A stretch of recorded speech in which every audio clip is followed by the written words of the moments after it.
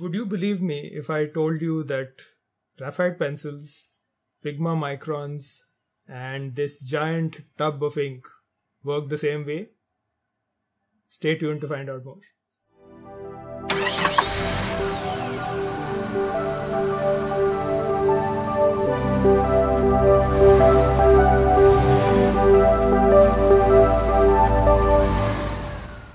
Hello and welcome to Stationery Test Drive, where usually for the last 51 weeks or so, uh, we have tested out stationery like this in artistic ways.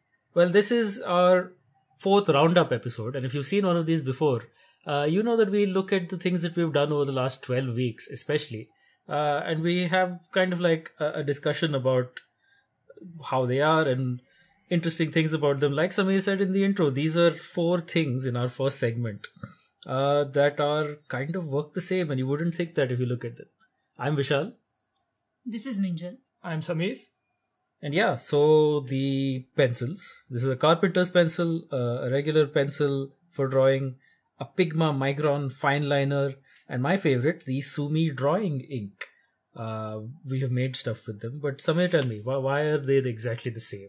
Or not exactly, but Uh, these are all equipment, tools, stationery, art supplies, whatever you want to call them, that are all based on uh, drawing or writing with carbon. So they use exactly the same material as a pigment. Okay, so so yes, through the magic of editing with these wonderful tools, this is what you can do with Sumi ink. I think all of us have used them in, in this way, and I guess Sumi is the simplest thing because it's carbon plus water, Yes. basically. Uh, what we're going to be doing through this episode is to walk you through, using the last 12 pieces that we did, a very quick history of the way uh, dyes, pigments, and the colors that actually go into everything that you draw and paint with work and the way they developed over time. Uh, Sumi ink is definitely one of the oldest kinds of ink there ever was. It's a carbon black in water, and that's really about it. There's nothing more to it the oldest inks, and we have brought this up in various episodes, were actually just made from, um, you know, metal minerals mixed with water. So it was often the the rust colored rocks and those kind of things that were used to make a a red color ink. The one of the first developed inks that were like properly processed was probably something like the Sumi ink. So after we went past you know using red colored rocks and green colored rocks to make very rudimentary coloring materials which were probably the things that went onto cave walls hmm once we had fire Ah, and we figured out that there was this black stuff left over soot. we came up with carbon as a pigment so carbon is one of the first properly developed pigments and sumi ink is one of the simplest best examples of it. Mm. And uh, I think you don't get more rudimentary, but in some ways modern than this. I think these are two pieces by Minjal that uh, I think we both loved the grey of it, didn't yeah. we? So, uh, which is what I was saying, the Sumi black ink, Hmm. but um, I think the grays are just so memorable.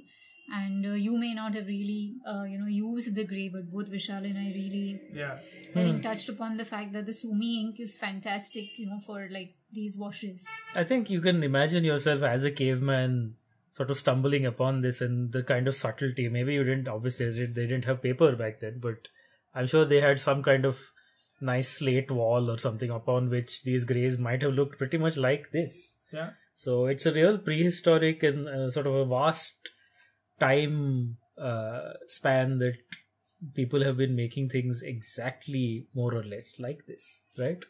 Maybe what we try, uh, you know, in the next season is get the Sumi ink sticks Mm. with Yes. a grinding stone. Right, I because think that would be a nice. because the uh, one we tested, the one we tested is this uh, one from Daiso, which is a wonderful store, and it's very convenient because it just comes in this nice big 200 or so milliliter bottle uh, with a nice pourer. So you just pour it in, and it's perfectly easy to use with a brush or a pen or mm-hmm. things like that.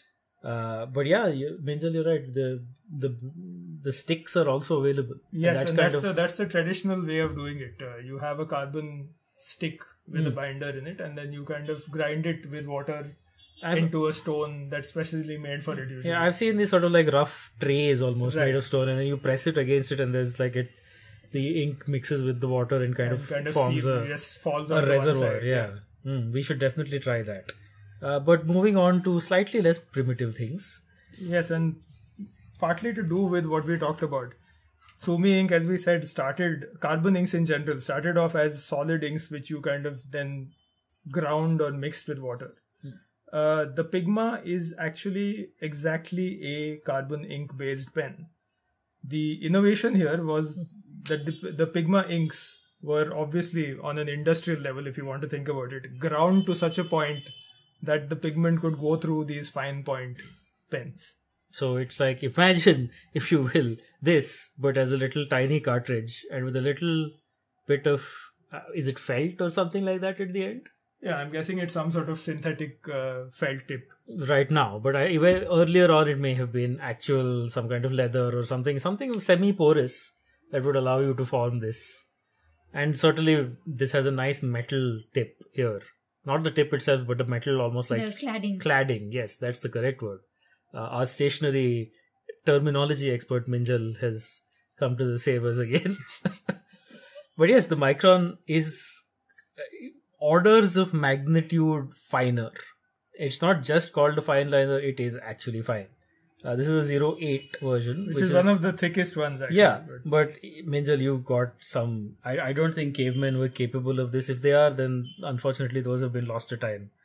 So I uh, we've uh, we covered the uni fine liners on our show earlier, Mhm. and uh, I didn't really get to any stippling with them. But uh, stippling with the Pigma microns was uh, really such a great experience. Yeah. Uh, they come in variety of sizes, the nib sizes, and the cladding actually ensures you know that even if you apply pressure, they don't really break Yeah. or you know they don't uh, get damaged. So really, I think Sakura has uh, created such a fantastic product with the microns. hmm. Well, Sakuras are wonderful, and we've tried all sorts of the other ones, but maybe we should look at something a little more primitive uh, that is also carbon based.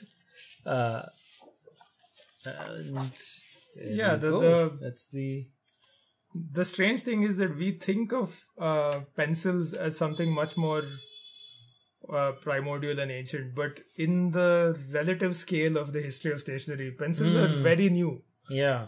Uh, carbon inks like the Sumi uh, have been around in some form or the other for several thousands of years.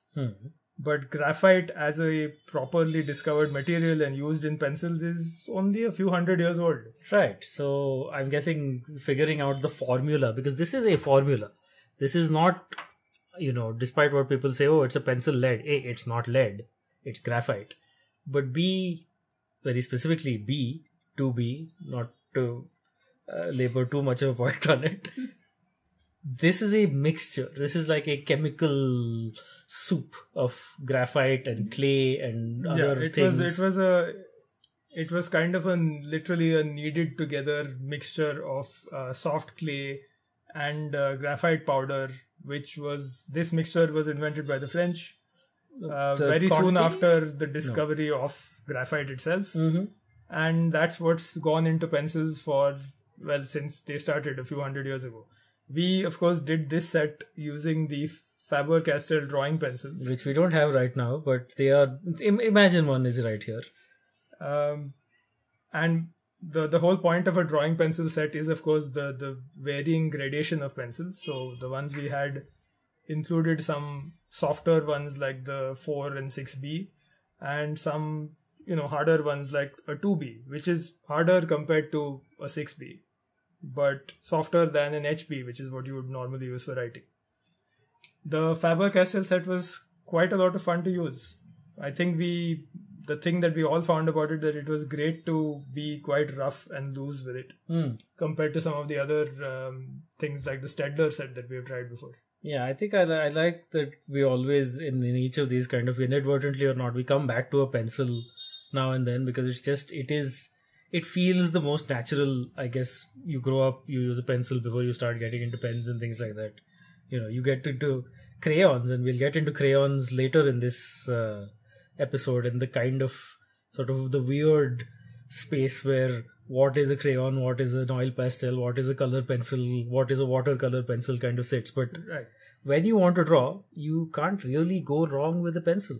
And in the development of colors uh, in stationery it's uh, the pencil is a very interesting and important step because it is actually a fairly modern invention. Yeah, I you, you would think that you'd go to black first, but I'm guessing sepia crayons like the Conte crayons in some ways are older. yes.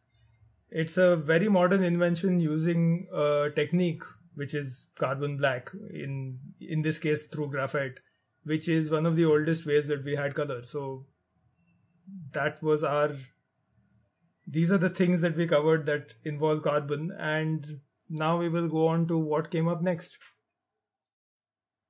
After the era of solid pigments like um, metal and uh, various metal salts and things like carbon which were solid pigments that were ground and sort of put into a suspension into water the next innovation in coloring and um, materials used for writing and drawing were actually dyes. Now, we didn't call them that in the beginning. We just found flowers and plants which had colored materials in them. We mixed them up with water and we got colored water.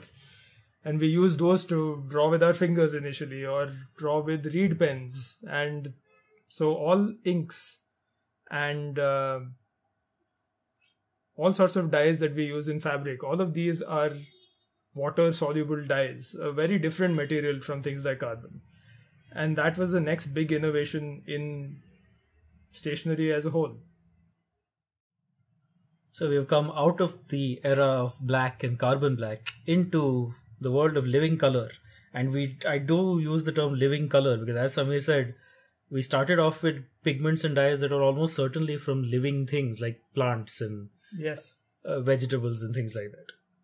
and flowers which were probably one of the first things that we used to you know smash into water and get a colored water out of Yes, and then later on, especially for purples, insects. But that's a story that you should actually look up on QI maybe or YouTube or on BBC. yes but speaking of flowers uh, the reason we started with the krishna inks which we really loved and are extremely vibrant uh, the reason we started with these is because a lot of them are plant based you have the sindhur color which is traditionally a oxidized turmeric powder.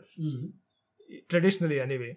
And the the Kanikonna which someone on our uh, original video very helpfully pointed out that Kanikonna is actually the the state flower of kerala which is a yellow cassia flower. And that's where this yellow comes from. Wow. so krishna inks very much is you know iconic for having this sort of plant based dye um so yes from the time of just uh, crushing some flowers in, in a pot to this kind of refined ink the the krishna inks were really a lot of fun to use to to think that something that's genuinely that ancient is still so useful and um, artistic today as a medium I wonder if there were, you know, fights between different schools of people, the flower pickers and the lamp black soot cave people. You know, because I'm sure some of this was happened at the same time. I doubt that people were only working with carbon. no there was there was a lot of overlap There's absolutely a lot of overlap, and uh, I think we liked the overlap we got between you know mixing up the. We had a yellow, the Kanikonna, and we had a blue, which was the causal, and then we mixed the two to get this nice green. Uh, Minjal, have you ever tried you know crushing flowers for making things? Uh, no, I only use cartridge inks. so Oh, clearly she's a not. she's a connoisseur. yes. I'm sure I have She- at some she- point. she's a follower of the ancient religion of cartridges So uh, this was actually quite a discovery, the Krishna inks, and uh, made in India. And uh, like we uh, spoke about in our episode, uh, you should try and get your hands on these. They are uh, really nice, vibrant inks, uh, pretty much at par with anything that is being uh, manufactured on a large scale. absolutely And speaking of large scale, I don't think you can get any more large scale than IKEA, the ubiquitous worldwide now, but traditionally known to be Swedish Yeah, and- uh, and- furniture brand. and just to just to it's a side note but going back to plants uh, these ikea pencils have this wonderful wood uh, case Casing. Yeah. and i i was just reading about ikea when we did this video ikea is responsible for or uses 1% of the entire world's wood production wow. so there you go plants are still part of it Yeah, and uh, coloring pencils, of course, are something that, like we talked about in the first segment, something that may have come in quite a bit later in terms of the chemistry and the, you know, if you think making a pencil obviously requires a certain amount of uh, engineering and glue and all sorts of things to just kind of work together. Yeah. So yeah, this was uh, this is not as ancient as you think, even though you use it. It's been used by kids, and this one is aimed at kids. We did not use it for very kid-like things, although that one's a beautiful. Yeah, the, the strange thing about something like the IKEA pencil is that it, it is a very again a new innovation. It's made to look like a pencil um, made from graphite or from any other solid pigment.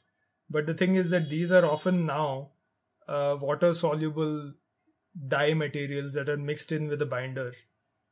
Uh, so it's a weird mix of what you thought a pencil used to be versus like a new thing that uses a dye, which is what makes these pencils water soluble, of course. Yeah, I mean, I always thought that a color pencil is just like a graphite pencil, but instead of a black color, they would have put a color color in there. Right. But clearly, they're not the same at all. They're closer to, you know, like I said, they're like somewhere between crayons and watercolor pads and everything in between but it's a good way to as, do stuff as as we get to modern times all of these kind of very strict distinctions between a pigment and an ink and a hmm. binder hmm. and all of this starts to disappear as chemistry gets much more complex and i think that segues nicely to something very modern and of very modern times that is also in some ways ancient the tachikawa school g pen for manga uh, all those terms mean something. They're not just something that I came up with on the fly. Uh, this is a fountain pen. It's a normal fountain pen. It uses Minjal's favorite thing, which is cartridges. It's not, you know, it's you don't have to dip these. Unlike if you saw our previous uh, roundup and our previous series, we had the hunt uh, nibs. Those you needed to actually just dip in there because there was nothing. The, the, there was no cartridge to help it along. So yeah, the nibs of the Tachikawa are usually something that's made for a dip pen because they're kind of flexible and artists use them to get these like variety of lines. Uh, this is a, a, nice, cheap and cheerful portable cartridge based one uh, that we used for these cheap and cheerful. Well, no, they're not really cheap. Let's not undersell ourselves. These are works of art. Uh, I enjoyed this one. It's it's so nice to have this thing it's not a beginner pen. We we said that in our episode, and I think uh, we should reiterate that. But it's well worth having one of these. Well worth uh, using them for all these kinds of things, right? Yeah, I mean the the level of finesse that we could get out of these is, I think, something that we haven't seen matched by any other instrument we've used. The Tachikawas, uh, I believe, are also very popular for uh, scripts like copperplate and uh, Spencerian. So calligraphy uh, practitioners will be aware of this, but these are very useful and much more convenient than actually carrying, you know, mm. an inkwell and like dip pen with you everywhere. So yeah, the Tachikawa pens are something that we highly recommend. But bringing it back to the development of, of inks and colors, the the unique thing about the Tachikawa is that it's a a version of a dip pen, and um, in the world of dyes, which is what we were talking about, when things uh, moved from using plant dyes to using chemical dyes, so when a dye could be made in a laboratory, it could be made into this perfect, evenly colored liquid. And that is actually the first time that fountain pens even became possible. So, this is actually uh, an icon of that change between a dip pen and a fountain pen. Mm from the world of dyes and brushes and dip pens and fountain pens, we come to the modern age, which is ball pens to begin with, at least, and then over time we came to gel pens. Uh, the interesting thing about these is that they turned all the rules of the ancient world of dyes and pigments on their head. A ball pen has a dye, which was a newer invention, slightly, but it used an oil base instead of a water base. And then a few decades later, gel pen came along and it used a pigment, but it used a water base. So these things really mixed it up. Yeah, and then you have this thing at the end, which is seemingly a magic trick. And we'll get into that. Now, the modern ball pen was kind of invented by a guy named Laszlo Biro. You may have used a pen called a Biro, but a lot of people have used something called a Bic, which is about as old as that, and was they got the license to make these kind of pens from Biro. Uh, but now the term Biro and Bic and you know ball pen are almost synonymous with each other. Uh, we love ball pens in this place. We we started off our test drive with a second. Our second episode was with the Reynolds, which is about as old as the rest of these as well. But I think of all of them, uh, the Bics were my favorite at least. What about you guys? Yeah, after uh, you know the harrowing um, you know experience of using uh, the Pentels, We'll get to that. the Pentel RSVP, We will really get to that. uh, just diametric uh, you know end of the spectrum really is the Bic. The colors really surprised us, and uh, really smooth. They're a little uh, expensive, but you know if you get a chance to use the Bic, this is the Bic Cristal uh, variant, Cristal up. the Cristal up. Cristal up. So uh, really, the Bic pens, uh, the ball pens, are really really worth trying. Hmm. And speaking of color, the colors are just so. Is that something to do with the oil-based pigment? Is that a specific no- I mean, about I, that? I, I mentioned that ball pens had a dye with an oil base. Now, these are modern ball pens. I'm guessing that's not true anymore, Hmm. and that they have probably come up with some mix that's yeah. a completely different binder. I Hmm. don't, and it's the thing about the modern era and ball pens and gel pens in general is that all of those old dichotomies went out the Hmm. window and people kind of came up with much more complex chemistries and binders. Yes, over time. proprietary things, secret things that they won't tell us about. Uh, but the thing that we would like to tell you about, which Minjal has already said, and we will reiterate, is that the uh, the well, let me get this the the Pentel RSVP BK95. You may have watched our episode. You may have seen us rant about this pen. It was as recent as last week. So, Minjal, do you have any energy left into you for more rants? Sure, I can go on for one more episode. These fine pens are really not fine. And if Pentel uh, uh, RSVP is throwing a party, the three of us are definitely not attending. Yeah, these are these are the like Samir said, there have been so many innovations in these things. You don't quite know what is is a ball pen, what is a gel pen anymore. Uh, but there are so many improvements in both the pigment and the, just the the quality of life, so to speak, of how you use these. This reminded me of all the bad ball pen experiences I had growing up. Right? It's a throwback it's it has no business looking so modern and being sort of a nice expensive in some ways thing to use when when you use it. Uh, despite all the very nice neat and beautifully shaded and you know surreal things that you can do with it uh, it's not fun to use. And you know in in a world where the Bic Cristal exists or even the old throwback like the reynolds 045 countless gel pens that we are going to show you two of immediately after this you know this is just no no can't i i keep i can't defend this in any way okay, We'll, we'll just move on. yeah We'll move on from ball pens, which used to, at least traditionally, be dye based, to gel pens, which are still mostly pigment based.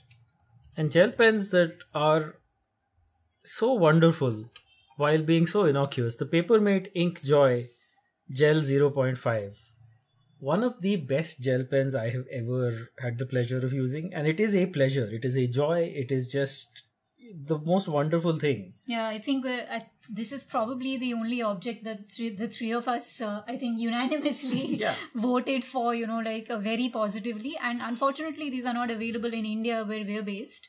But, uh, you know, obviously, if you're in the US or any other part of the world, please go and get these. I mean, we talked in in our episode on the Pentel, and we talk about this especially in ball pens that many times you you can try to put a line down and it isn't quite going to go where you want, and that is not a problem with our favorite uh, fine liners like the Unipins or the Microns.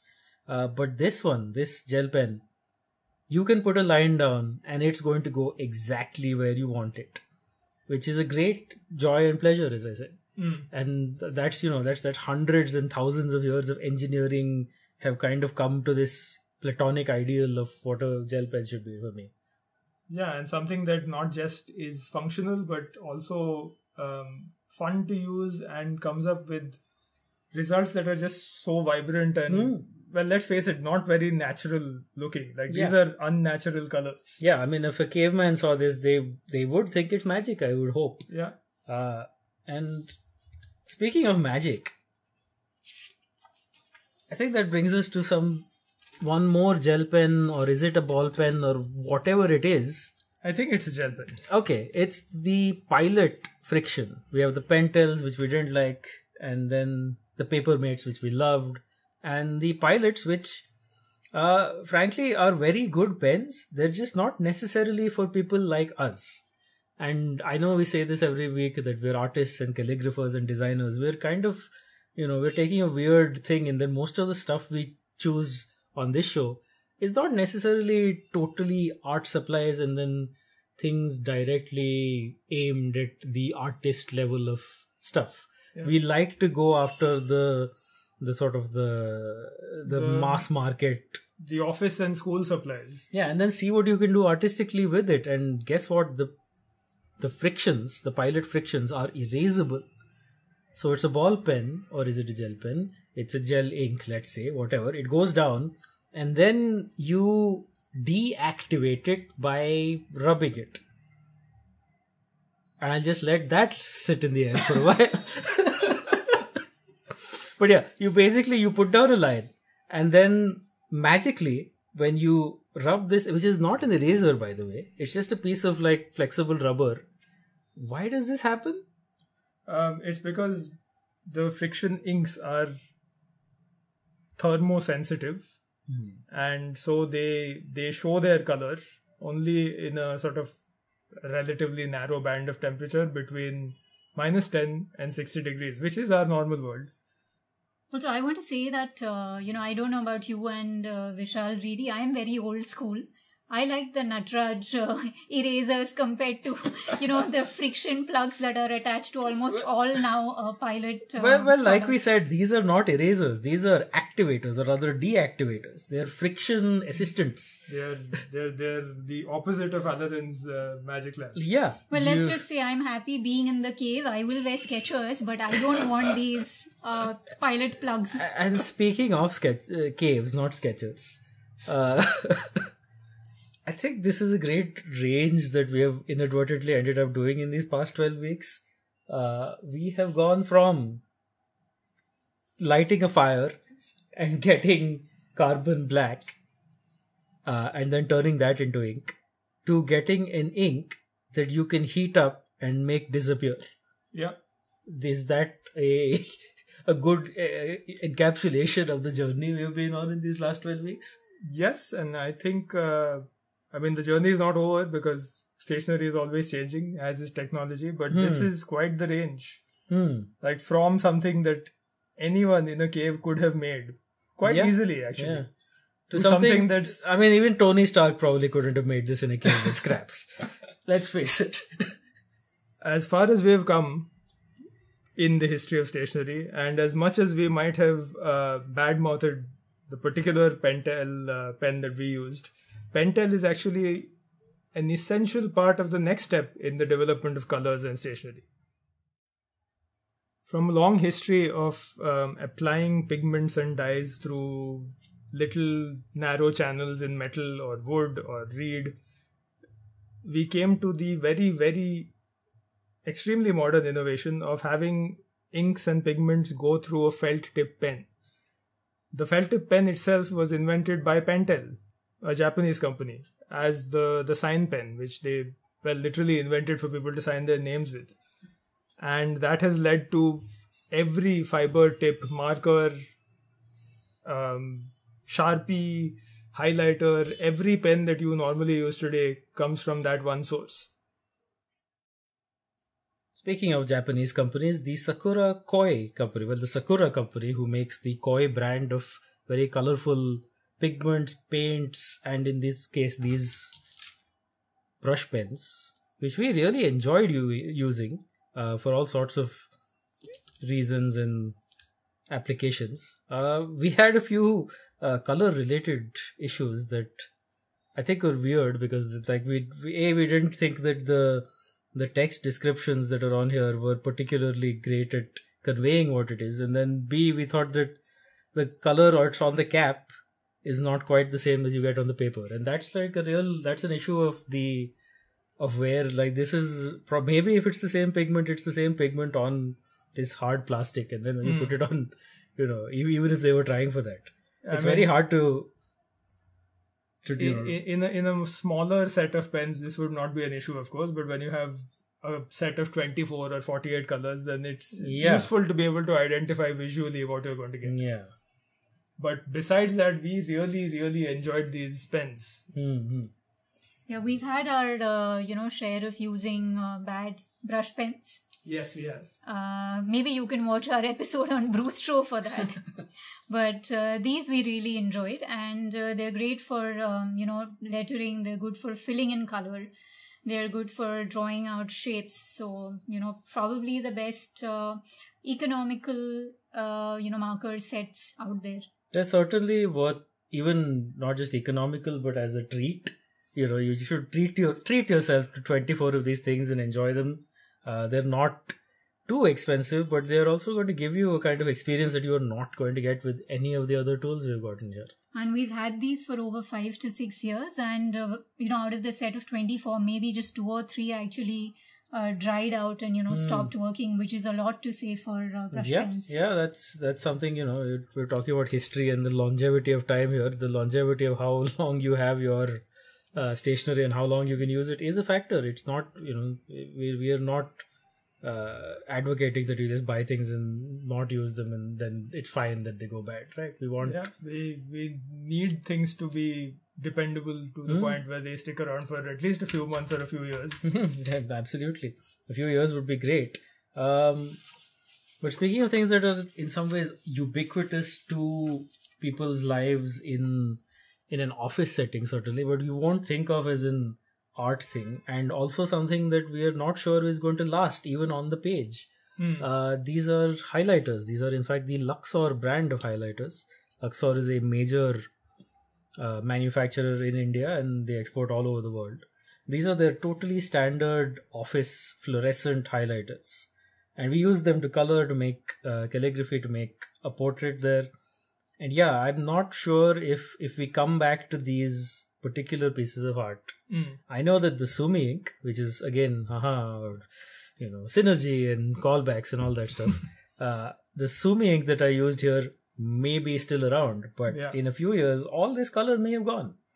That's quite possible because they were uh, highlighters have never been engineered for for longevity. Mm, yes, and you know, like we said, we use uh, mass market things m- many times. Maybe there is a neon colored artist uh, grade fade proof type thing out there, a marker. Maybe there's a Copic or something. It's it's possible, but uh, again, talking about the development of colors, the point is the the Sumi ink we know is dependable because it's been around for millennia. Yeah. it's been tested out. we have examples of things. Maybe someone invented a highlighter back in the caveman days, but we don't know what they were using. When it comes to pigments and dyes, the highlighter is one of the most modern innovations because you have, for the first time in history, in human history anyway, fluorescent inks. These are not colors that you find in nature at all, in any form. So there's nothing you can crush, there's nothing you can grind that will give you this color until the modern era. Markers themselves, as we were saying, were invented by Pentel, and that only happened in the 1960s Hmm. fluorescent inks were also invented in the 1960s so in some ways this is uh, the product of exactly the same time frame but we enjoyed using them for art. I don't know how. I mean, what is time anyway? We're all going to be fading some point. Uh, but I think I enjoyed this journey, eh, both in this episode and over the last 12 weeks.